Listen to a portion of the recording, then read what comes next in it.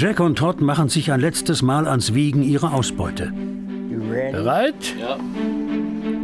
Hat der letzte Clean-Out mindestens 18,5 Unzen eingebracht, haben sie ihr Ziel von 100 Unzen erreicht. Am Ende der zweiten Schürfsaison könnten sich diese Männer mit Fug und Recht Goldgräber nennen. Six, seven, nine. Gleich steht das Endergebnis fest. Right now it's 780, 83, 84, 85. Die Stunde der Wahrheit naht. Gleich werden Todd und Jack dem Team das Endergebnis mitteilen. Die Nerven der Männer sind bis zum Zerreißen gespannt. Haben sie die 18,5 Unzen geschafft und damit ihr Ziel erreicht? Es war nicht so viel, wie wir dachten. Gut zwölf Unzen. Mehr nicht. Nur zwölf? Damit liegen wir bei 93,5. You know, so, Knapp verpasst. Aber wir müssen uns nicht schämen oder mit gesenkten Köpfen nach Hause gehen. Ihr könnt stolz auf euch sein.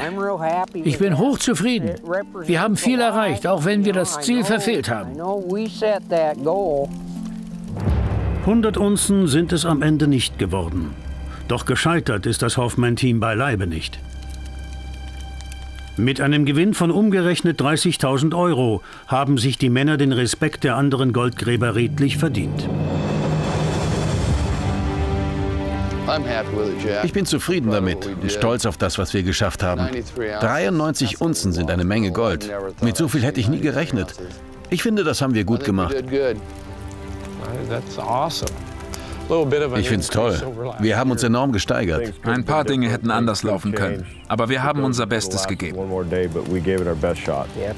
Ich wollte gern 100 Unzen für dich rausholen, aber mehr war einfach nicht drin.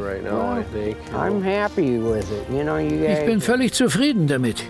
Ihr seid die besten Freunde, die man nur haben kann. Ich danke euch. Mehr kann ich gar nicht sagen. Die Hoffmans beschließen ihre zweite Schürfsaison mit Gold im Wert von 112.000 Euro. Siebenmal mehr als bei ihrem ersten Versuch. Am nächsten Morgen überreicht Jack jedem Mann seinen Anteil. Ich habe hier was für euch. Jedes dieser Röhrchen enthält fünf Unzen. Dafür bekommt man im Moment rund 8000 Dollar. Dave, James, Greg, Chris. Ich würde im nächsten Jahr gern das 10- bis 15-fache rausholen. Ihr verdient so viel mehr. Viel Glück und gute Reise. Fünf lange Monate hat das Hoffman-Team im Klondike verbracht.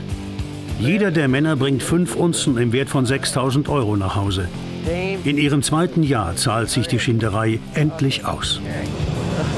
Sie sind keine Anfänger mehr, sondern echte Goldgräber. Das ist mein Gold. Dafür habe ich mich abgerackert. Wir haben viel durchgestanden. Wir müssen los. Das Gold von Jack macht mir Mut. Vielleicht starten wir nächstes Jahr richtig durch. Wir haben unser Ziel knapp verfehlt. Aber für 93,5 Unzen muss man sich nicht schämen. Unter diesen Bedingungen hätten wir uns auch schlechter anstellen können. Uns hätten 40 Unzen fehlen können statt ein paar.